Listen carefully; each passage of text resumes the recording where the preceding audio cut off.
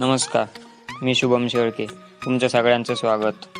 आज आपण बोलणार आहोत रशियाच्या लसीबद्दल कारण त्याची मीडियामध्ये खूप चर्चा चालू आहे.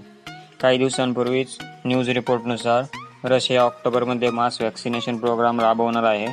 म्हणजे मोठ्या प्रमाणात जे फ्रंटलाईन वर्कर्स आहेत त्यांना ही लस उपलब्ध करून देणार आहेत. त्यामध्ये डॉक्टर्स किंवा टीचर्स या लोकांचा समावेश आहे असं रशियाचे आरोग्यमंत्री यांनी सांगितलं होतं.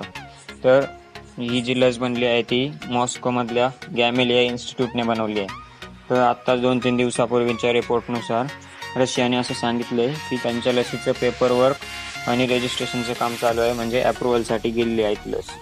पण रिपोर्टमध्ये क्लिनिकल ट्रायलविषयी काही सांगितलं नाही आहे म्हणजे त्यांनी फेज थ्री ट्रायल झाली की फेज सेकंड झाली त्याबद्दल काही त्यांनी मेन्शन केलेलं नाही आहे जुलैच्या दुसऱ्या आठवड्यात एका न्यूज एजन्सीने असा रिपोर्ट दिला होता की त्यांनी फेज थ फेज सेकंड चालू केली आहे ती तेरा जुलैपासून म्हणजे तेरा जुलै ते आज तीन ऑगस्ट आहे.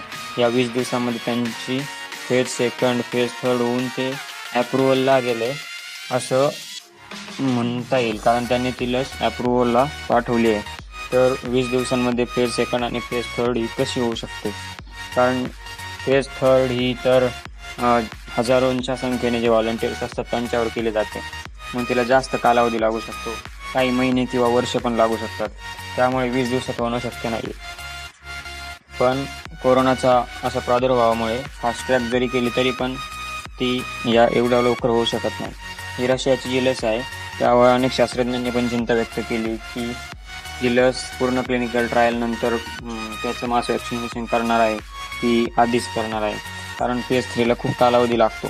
आणि जे अप्रुव्हलची प्रोसेस असते ती पण खूप किचकट असते. पण रशियाने जवळजवळ अप्रुव्हल ग्रँटेडच घेतलं आहे असं वाटतं कारण ते ऑक्टोबरमध्ये त्यांनी डेडलाईन दिली. कोणत्याही लसीची अशा प्रकारे डेडलाईन देऊ शकत नाही. कारण ती लस सक्सेसफुल होणारच आहे असं आपल्याला माहीत नसतं.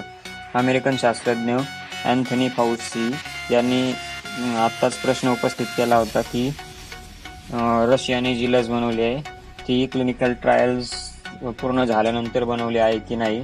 आणि त्यांनी असं विचारलं होतं की या लसीचे क्लिनिकल ट्रायल्स कंप्लीट झाले की नाही?